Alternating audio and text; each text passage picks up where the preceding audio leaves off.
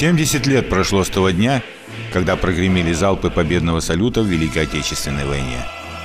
Но с каждым годом становится меньше тех людей, которые были творцами этой победы, которые пережили те страшные дни, которые не опустили головы в дни оккупации, которые после нее на фронте и в тылу делали каждое свое дело, чтобы этот салют состоялся. В их рядах были не только мужчины и парни, но и юные девчонки, сменившие туфельки на солдатские сапоги и валенки. Они еще многого не поведали нам о той войне. И тем ценнее сегодня для потомков должно быть каждое сказанное ими слово.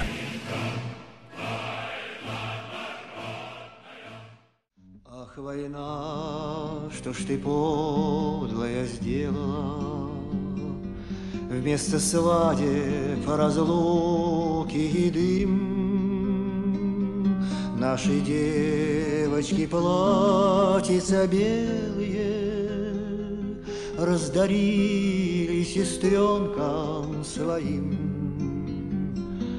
Сапоги, ну куда от них денешься? Да зеленые крылья погон Вы наплюйте на сплетника Ну, войну, вой- война началась, когда я окончила 7 классов летом. Сразу мы начали трудовую жизнь. Через месяц немцы заняли город, и мы остались в оккупации. В оккупации сразу работать на производство, на фабрике, везде самые трудные работы. Наш детский труд подростковый как раз хорошо шел. Вот. И никаких проволочек, никаких этих отказов, ничего, все. Ну, кормили там, немцы кормили за то, что мы работали. Никаких зарплат, ничего не были, просто работали. Мне было 14 лет от того, что я отвернулась от станка, а как раз зашел немец. И он меня на месяц отправил грузить торфяную крошку на мороз для котельной. Я грузила лошадь дали вагонетку, а крошка разлетается на морозе, крошка. И все. Ну, и так прошла эта оккупация. А потом, а когда город освободили, город Клинцы, Брянская область, освободили город наш 13 сентября 43 года. И мы пошли работать на восстановление промышленности города. Потому что наш город был очень промышленности, много фабрик суконных было, заводов всяких, все. И люди нужны были. И наш труд как раз требовался. Я работала на фабрике. Вот. Через это в ноябре месяце нас горкома комсомола вызвали повестка в горком комсомола.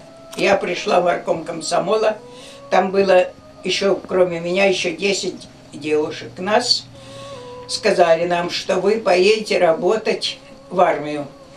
Нужно вот, в армии нужны работники. Ну и буквально через неделю нам дали валенки, посадили нас на машины, именно валенки, больше ничего, чтобы ноги не замерзли у нас. И на сено, и, и на машины. И когда мы ехали в армию, на место работы, службы, или работы, скорее так, нас, мы ехали через СОЖ. Через СОЖ был протянут этот мост понтонный. И по этому мосту ехали мы на машине. СОЖ был замерзший уже, это ноябрь месяц, но СОЖ был ледяной. И он был красный от крови, потому что там только-только прошли бои. И СОЖ был просто вот красный лед был, и все. Это был для нас было ужас, потому что мы э, знали только бомбежку, дом наш разбомбили, когда при немцах наш дом разбомбили. Под облос, под обломков мы вылезли. И было для нас вот это увидеть, вот это вот кровяной, этот лед, это было страшно. Ну, приехали мы, привезли нас в часть, куда кого. Меня и еще одну Костакову Марию, и тоже клинчанку.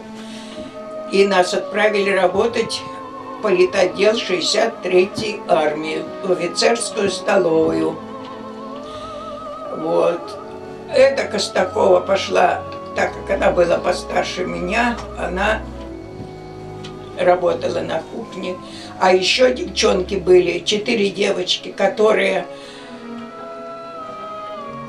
пищу, которую готовил солдат, повар, солдат был, он готовил пищу, еще кроме офицера, он еще готовил пищу для солдат под окопы, которые в окопах были. И вот эти девочки, они уже были на, ну, в армии уже давно, и они на термосах наливали им горячую пищу, и они полз, ползком под пулями ползли, чтобы отвести горячую пищу солдатам, чтобы накормить их. И в одном из таких вот ихних походов одну девочку этот термос пробила пуля, и ее обварила все этим горячим борщом. И, конечно, ее в госпиталь отправили, все. Но политодель, у нас был начальник политодела Гензик, полковник Гензик. У него был адъютант, не помню фамилия, на С как-то фамилия была. И они поехали на передовую. А я вот это работала именно на передовой, первом эшелоне. Это передовая была линия фронта. И они поехали на поле, и на минном поле подорвались. Капитана этого насмерть сразу убила, а полковника привезли к нам туда, в это село, мы под Могилевым, деревня Осиновка была. Привезли туда его, а потом отправили в госпиталь Клинцы. Ну и в Клинцах он умер. Его похоронили в Клинцах у нас. И назвали улицу Гензика. Есть у нас там такая улица Гензика. Вот. Потом прислали нового начальника политотдела, полковника Александрова. И этот полковник Александров, кроме того, что я кормила всех офицеров, обслуживала, вот, одна столовая, ну, хаты деревенские, за фронтом, как шли, где-то в хате, останавливались, вымывали хату и э, столовую такую оборудовали, полевую такую столовую. Вот. Еще меня было поручено кормить, когда приезжали на, на линию фронта генералы всякие, это все к начальнику политотдела всегда же они куда больше. Вот. И мне всегда приходилось их кормить. Для них была специальная кухня, хотя готовили для них. Я ехала, брала пищу и накрывала столы, кормила этих генералов. Ну вот. Ну, потом наша была армия, 63-я армия, я не помню, как и почему, как что. Это было вроде как бы по секрету где-то, но что случилось, но армию расформировали, 63-ю. Вот. Расформировали нас по, по частям раз, раз, развели. И помню, что я ехала в новую часть, я ехала на машине на грузовой машине наверху, потому что э, в кабине должен быть сопровождающий, а мне некуда было. Наверху на брезенте сидела. И на мосту на каком-то машина как-то занесло, и я свалилась с машины с этой. Хорошо, что сзади еще машины ехали. Я свалилась в сугроб, кувет, большой-большой кувет такой. Меня подобрали из сугробов. А сугробы в ту зиму были вообще неимоверные по два метра, сугробы были по два метра. Вот пророют вот так со снега траншеи, машины шли. И не видно машин было. Если вот человек где-то стоит, то машин не видно было. Вот. Ну, я приехала на место, на новое место службы, начала работать, опять же в столовой начала работать. И скосил меня тиф. Меня сразу, конечно, отправили был инфекционный госпиталь, тоже в землянках. За фронтом возили меня. Два месяца меня возили. Я 13 суток была без сознания. И возили меня за фронтом. Не только меня, потому что не одна же я была. Тогда тих косил всех солдат и всех. Вот два месяца меня возили за фронтом госпиталя эти. В землянках, хаты помню, хаты, землянки, где мы лежали, все. И у меня было осложнение на ноги после этого, после тифа. И я уехала, в общем, меня как бы комиссовали. И я уехала домой. Ну, как я ехала, это или шла пешком, трое суток я добиралась, может быть, если сейчас можно доехать, это Могилевская область, за полдня, то я трое суток добиралась на перекладных, потому что раньше даже попутная машина не посадит тебя. Идешь у поля, никто не посадит, не имеет права никто, только на КП. Доходишь на КП, там документы проверяют, куда тебе надо, ждешь машины, когда в ту сторону поедет. На КП тебя отправляют уже дальше. Ну вот, приехала домой 20 апреля. Недельку, наверное, я отдыхала. И тут же, раньше не было тунеядцев, не было ни одного человека, каждый человек был на учете, работали все. И меня сразу же вызвали на работу, иди, хватит отдыхать. И никакие уже справочки, отдохнула недельку, хватит. И все, работать. И пошла работать. Сначала работала на завалах.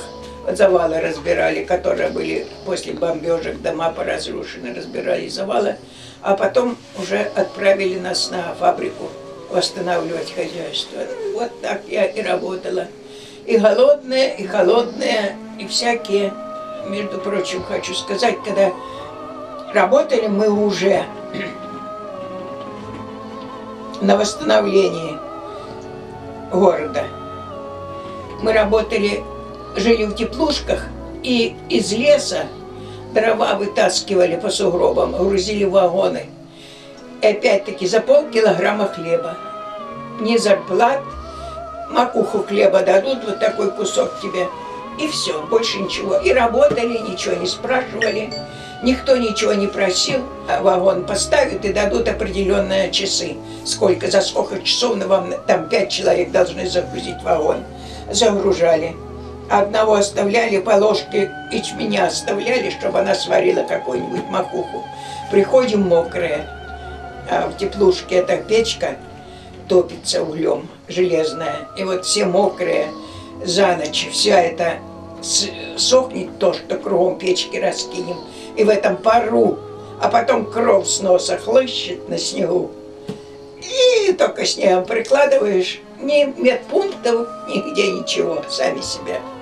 Сами себя лечились, сами себя все делали. Никто ничего. Это сейчас по 18-летнюю девочку отправили, работала бы она так.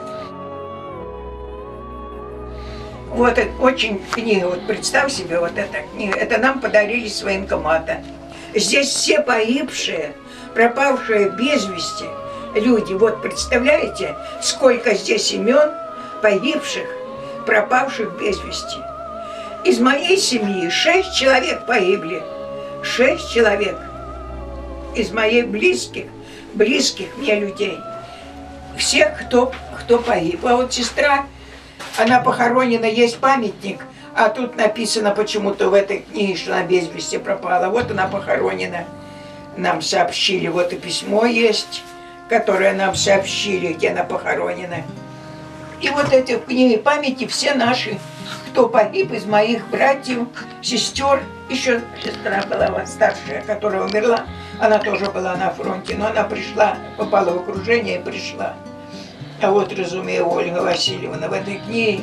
И вот эти люди, которые хоронили сестру, кальяна на поле. Она, когда погибли они, выходя из окружения, их э, все погибло, там полно народу, солдат погибло. И немцы не разрешали хоронить. И все-таки один старик взял и ночью тела эти сгребал, а была жара, июль месяц, и он стаскивал эти тела и закапывал. И документы все сестры были у него, и он где-то под Авином закопал эти документы. А же, дочка его была такого же возраста, как Ольга наша, как Оля, которая погибла. И она запомнила все это, запомнила. И когда она стала, немцы ушли, стала искать документы, отца расстреляли за то, что он хоронил этих солдат убитых. А дочка, которая, э, сказала он, где закопаны документы все, когда немцы уж, при, ушли, наши освободили. Она стала э, кругом сарая искать, где закопал документы найти. Не нашла, говорит, документы не могла найти. И даже рассказывает, как она рассказывает, как у нее волос был. Она у нас была такая, волос у нее пышный был такой. И вот гимнастерка, говорит, была вот так расстегнута до сих пор, гимнастерка была расстегнута, и волосы разбросаны, и она лежала вот так навзничь. И вот она запомнила ее имя и фамилию, и все запомнила только потому, что она одна была девушка среди 13 солдат. Она запомнила все и сохранила. Муж мой он участник войны с первого до последнего дня. Он в армии служил, когда началась война. 26 лет прослужил в армии, когда Хрущев сокращал армию на 300 тысяч человек. И под сокращение попал и наш вояка. Попал под сокращение и отправили куда хочешь. И жди. Никаких ни пособий, ни квартир, ничего. Вот под голое небо иди с детьми, да и все, так и были. И искали себя, где нам пристанище какое искать. Так он и умер, не получил ничего от армии. Даже одного дня пенсии умер в тот день, когда пенсия кончилась. 1 декабря. Сын служил, до полковника дослужился. Вот. Второй сын, старший прапорщик, внук. Внук майор запаса. Ну, что еще? Зять, подполковник, тоже в отставку ушел. Вот. И племянники, племянник подполковник, сын племянника тоже подполковник. Все и зятья, и все-все военные у нас. Все-все, у нас все-все-все-все близкие родственники, все офицеры советской и Красной армии, российской армии.